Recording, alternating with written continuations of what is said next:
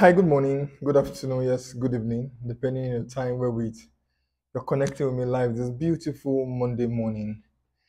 I have a very, very important message for um, engineers, project managers, and if you know that you're a family member helping your brother, your sister, your father, or your mother who is in diaspora to build their house in Nigeria, please, this piece of information is for you.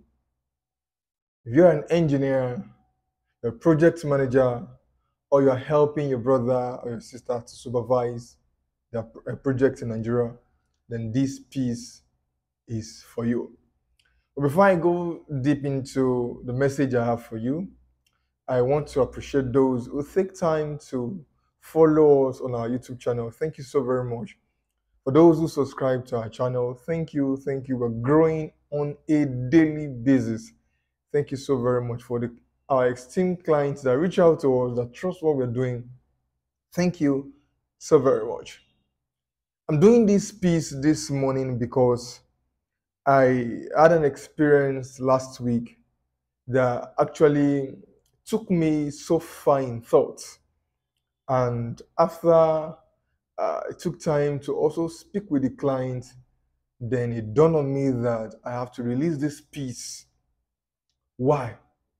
It was because I experienced my client cry. Uh, it was not a baby tears, to be very honest. I couldn't take it. My heart bled. My heart bled. What actually happened? Before now, I have taken my time to advise clients that if you want to get your job done, ensure that you look for competent and that can help you execute your project. But many times, I've seen clients still keep deaf ears to this advice, and most of the time, I see them give their job to people who are not professional on the job. There's one thing I want you to understand about executing building projects. It's not about the ability of being available. It also requires your what technicality. So um, the client reached out to us and said, Victor, I want to roof my house outside Edo State. We went there, we saw, and then we gave quotation. It was time to buy the materials. And whenever I noticed that the client wants to buy the material, I let it go the way. And so she told me that, oh, my younger brothers around, they would buy it. I have one man that supplied wood. I said, okay, fine. Since you trust that plug, no problem. Just let us know when you are ready to execute the job. On that fateful day, she reached out to me and said, okay, fine. I've sent the money to my younger brothers who are twin in Nigeria. They will show so they could go buy the wood. We left Edo State because I called the boy in the morning. How are we getting the wood? He said, okay, fine. It's going to the summit to get the wood. Okay, no problem. Waited all through that day. The wood did not come. All right, let's see how it goes. Then the following day, when are you bringing the wood? The, the wood is coming today. We waited and waited and waited and called and called and he wasn't picking the call. So many storyline along this process. At the end of the day, the third day, the early hours of the morning, the wood arrived on site. On seeing the wood, I shook my head. And I said to myself, this wood does not meet the integrity of what I promote as a standard. Please, if you are an engineer, a project manager, or a supervisor, family member, supervising anybody's project, even if they're in Nigeria on, and they're not on site or they're in diaspora, please manage their money effectively. Please do the right thing on the job. And I told the client, I can't do this. I promote a standard as a job. I cannot, I cannot do all of all this. And she said, Can I see the wood? and I gave her access to see the wood. And by herself, she said, No, Victor, they cannot use this wood to even roof a restaurant where they want to sell mama put food. And then she burst into tears that my brothers did this to me. I've spent over 2 million naira buying this wood, and this is all that they could bring to the site. Immediately, I told my team, we have to leave Ughelli, Delta State. We can't do this job. We have to leave. And so we left and got back to Benin, and so many calls came in. Please, can you help us manage this? And I said to her, It is not that this wood cannot be used, but I need you to consent to it, that you are aware that these are the woods that was brought to sight. So whatever the effect becomes, know that my hands are clean and it is not my fault. And we reached a concluding agreement. And I said, okay, fine. So the wood doesn't get bad or get stolen. Let's mobilize our guys back to site to execute the job. But the touching line here is listening to the woman cry.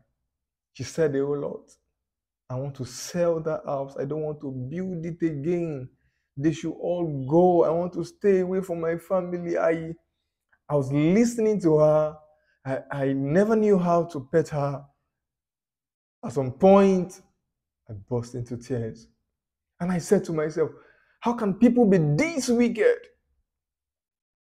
Someone who lives overseas, you don't know what she do for a living. You don't know how she gets her money. She works all through the clock and has been able to bring out this money. You that happens to be a family member, a brother. And all you could do is to squander money. I've been begging you people, and I will say it again without fear or favor. If you know your brother, your sister, your mother, your father is not a professional. Don't give him or her money, oh. I'm telling you. I am telling you. It is their sister's money to them. Now, my sister money more chopper. And to be very honest, they've eaten it and heaven did not fall. Heaven did not fall. If you're an engineer or a project manager, or a family member helping your brother, sister, father, mother to undo a building project in Nigeria, please do the right thing. Please do the right thing. I know that there are countless numbers of people who are suffering from what I am sharing right now. Many of you may not, may not just cry out, but you know the truth deep down in your heart. Your building project is not a charity project. Your building project should have nothing to do with your family run around. Get trusted hands. Bring them on board. Design your project schedule. Allow them execute your project for you so you have peace of mind. If I am privileged to bring this client, I'm sharing our experience. If I'm privileged to bring down air and she share how she feels right now, I know so many of you may be discouraged to continue your project. Please do the right thing. For me, I will blame her. Do you know why? This is why I want to blame her. For giving those boys that amount of money. You know it. They are not working. You, you know it. And at the end of the day, you give them that amount of money. What do you want them to do? You will say, Why would I blame her? You should know. If you don't know, then it's your fault. To be honest, Victor, can't I trust my family member? It's your fault. I'm not saying you shouldn't trust them, but I'm saying that there are people who you should know over time and entrust certain things with. You don't just entrust things with people all of a sudden.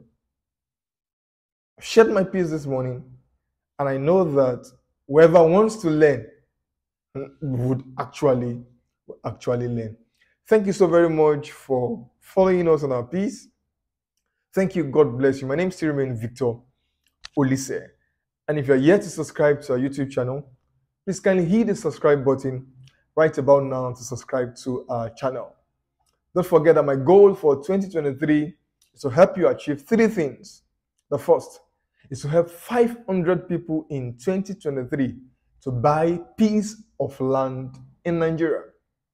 And I'm doing this by connecting with reputable real estate industries in Nigeria. The second goal is to help 50 people manage their building project in 2023. And the third goal is to help 150 people buy houses in Nigeria in the year 2023. You can reach us on 070 63 15 15 58. I roll over again 070 63 15 15 58. My name still remains Victor Oliseh.